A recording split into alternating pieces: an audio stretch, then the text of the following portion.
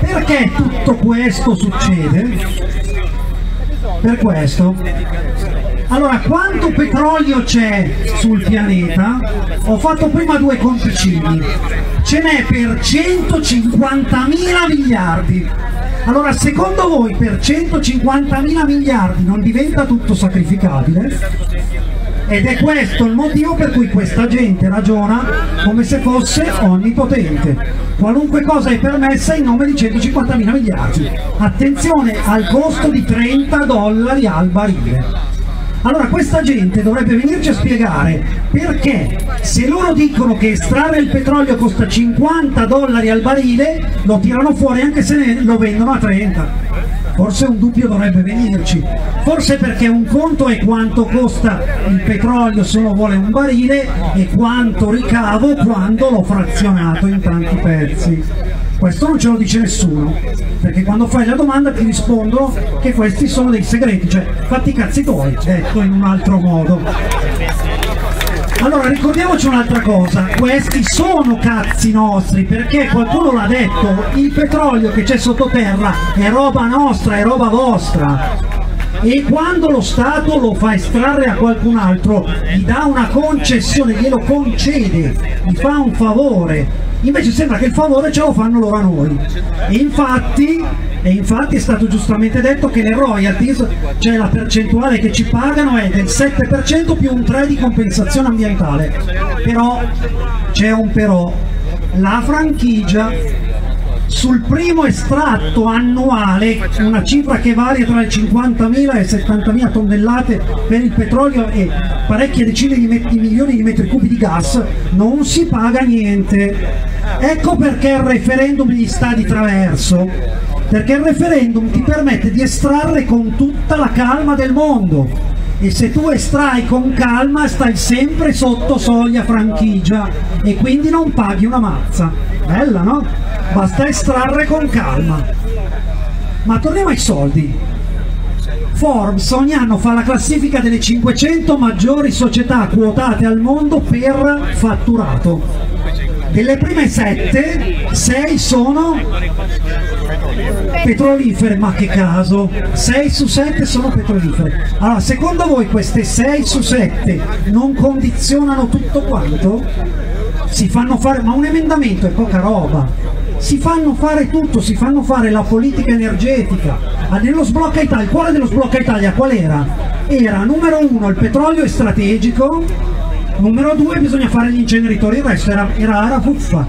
Allora il gioco è iniziato prima, è iniziato con lo Sblocca Italia, quando le concessioni venivano date tutte da un unico ente, tutte le autorizzazioni da uno solo. Questa gente si porta avanti, ma, ma è molto più avanti. Quando arriviamo noi a scoprirlo, questi hanno già fatto tutti i loro piani prima. Quanto petrolio c'è qua, qua sotto? 700 milioni di barili. 700 milioni di barili vuol dire 21 miliardi al grezzo. Allora per 21 miliardi eh, che cosa si può fare? Parigi va bene una messa, 21 miliardi quanto valgono? Valgono tantissimo. Però attenzione, tutto questo meccanismo sfrutta una cosa, sfrutta il fatto che comunque noi il fossile, noi tutti ce l'abbiamo qua nella testa è inevitabile, questo dobbiamo dircelo, perché noi, noi mettiamo la benzina nell'automobile, o mettiamo il gasolio nell'automobile, o mettiamo il GPL, vengono tutti da qua. Grazie mille. Qua e da tutti gli altri posti come questi. Vogliamo il riscaldamento e quindi usiamo il metano che viene da posti come questo. Eh, allora attenzione che questa gente ci potrebbe anche dire, eh, tu ti lamenti tanto, ma io ti sto dando quello che tu vuoi, o quello di cui tu credi di avere bisogno perché il mondo è stato costruito sulla base del petrolio. Una, si chiamava oro nero, si chiama oro nero per un motivo, no? È stato costruito su questo.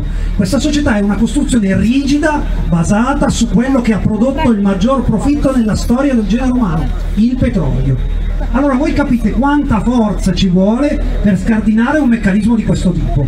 E la forza non è solamente quella di 130 persone che stanno in Parlamento, ricordatevelo, eh, che queste 130 persone non hanno la lampada di Aladino una per ciascuno. Queste 130 persone senza voi non sono niente. Quindi noi ci aspettiamo che voi facciate la vostra parte con noi e la prossima volta che qualcuno di voi sarà qui e io sarò lì sotto sentirò le stesse precise cose, perché è solo questo cambiamento di mentalità che ci permetterà di fare la differenza. Se no, ricordiamocelo, ci sarà sempre questa situazione. Avremo al governo gente che ha una maschera. Dietro questa maschera ci saranno gli amministratori delegati delle varie società petrolifere, perché intorno al petrolio ruota tutto quanto. Quindi voi stessi fatevi un esame di coscienza. Quando è stato scoperto il petrolio in Basilicata, che si diceva che sarebbe diventato il Texas, ma sotto sotto eravate contenti? Meno male, meno male, perché in alcuni la contentezza c'era, è diventata scontentezza quando si è visto che arrivava poco di questo. Allora tutte le volte che noi barattiamo la nostra salute, il nostro territorio in cambio di questo, bisogna vedere quanto ci stiamo guadagnando.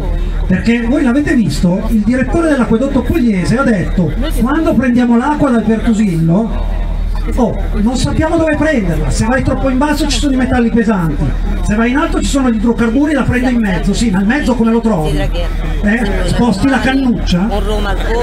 Ricordatevi che il petrolio è nella stessa classe di cancerogenicità delle diossine. Il petrolio è cancerogeno, il petrolio è mutageno, a qualunque dosaggio non esiste un dosaggio soglia al di sotto del quale, ma sì, oggi non so come fare, bevo un po' d'acqua col petrolio, c'ha quel gusticino, no? Lascia un po' qua, come, come l'acqua frizzante. No, ho sbagliato. Quando io ho chiesto al, al, all'amministratore delegato dell'ENI perché ci sono gli idrocarburi nel lago, sapete cosa mi ha risposto? Sono affioramenti naturali di petrolio i Kuwait no, uguale pianta un tubo e, e schizza fuori il getto questa gente non ti dice che loro si sono inventati la reiniezione in pozzo profondo c'è tutto il sottoprodotto che proprio non, non, non, si riesce a vendere perché il petrolio è quasi come il maiale, si butta niente, tranne qualcosina, quella roba lì è uno scarto tossico. Allora io ho fatto un bel risucchio nel sottosuolo e mi è avanzata della roba, che faccio? La rimetto sotto, è geniale, no? Allora la domanda è, ma tutto quello che è stato reiniettato dove è andato a finire? Perché il petrolio non è sottoterra come se fosse in un serbatoio, il petrolio è mischiato con le rocce, con le sabbie e bisogna spremerle, bisogna iniettare dei fluidi ad alta pressione e alta temperatura e soprattutto è molto viscoso ricordatevi che qua questa cosa, questo danno ambientale che poi è danno della salute, perché quando tu ti mangi la mela o la pera che, che, ha il sapore di petrolio, perché succede anche questo, la domanda è per quanto tempo andrà avanti questa cosa? Cent'anni, mille anni? Potrebbe andare avanti secoli, cioè la contaminazione da petrolio può andare avanti millenni, il petrolio e i suoi derivati sono stabili, nel sottosuolo ci stanno milioni di anni, quindi questo danno è stato fatto ed è un danno che durerà milioni di anni. Per che cosa? Per 380-338 milioni all'anno. Ma di che? Allora, ultima cosa sul referendum. Sul referendum è stato detto vota, non, non, vota no perché è irrilevante oppure vota no perché si perdono posti di lavoro stesso, dalle stesse persone. Allora, uno, si mettessero d'accordo con il loro cervello. Cioè non puoi dirmi che è irrilevante ma contemporaneamente è dannoso, perché vuol dire che non hai neanche capito la tua strategia comunicativa. Questo referendum serve per mettere un po' di sabbia nell'ingranaggio, per mettere un paletto e dire basta con questa roba è ora di voltare pagina e attenzione, siccome il fabbisogno nazionale di gas e di petrolio derivante dalle estrazioni entro le 12 miglia è dell'1,4% del, per, per il gas e dello 0,8% per il petrolio, stiamo parlando del nulla, del niente. Questa gente deve smettere di raccontarci cazzate. La verità è, mettiamogli un po' di sabbia nell'ingranaggio, andiamo a votare, ma se non vi piace questa argomentazione ricordatevi una cosa, nel momento in cui qualcuno che un pubblico ufficiale si permette di dire a voi quello che dovete fare, la prima risposta deve essere tu a me non devi dire cosa faccio, al massimo sono io che lo dico a te. Tanto per cominciare mi hai detto di non andare e ci vado a sfregio, solo perché me l'hai detto. Poi oltretutto non è una questione di tifoseria, Qua non c'è un partito da votare a tua squadra del cuore, è una cosa del tuo interesse personale. Allora pensi che sia una cosa buona, è giusto che tu vada e dica sì, basta con queste trivellazioni entro le 12 miglia. Se pensi che invece te l'hanno venduta bene, vai comunque e dici no, voglio continuare, perché secondo me il petrolio italiano estratto dagli stranieri che te lo rivendono, perché la Total Fina Elf è una compagnia francese, sono tre compagnie francesi che si sono messe assieme, l'ENI è del 29,99 dello Stato e il resto è dei privati. Allora se tu vuoi continuare con questo andazzo, almeno vai però, vai e firma per il tuo futuro, perché questa è la verità. Questo referendum è una scelta del futuro.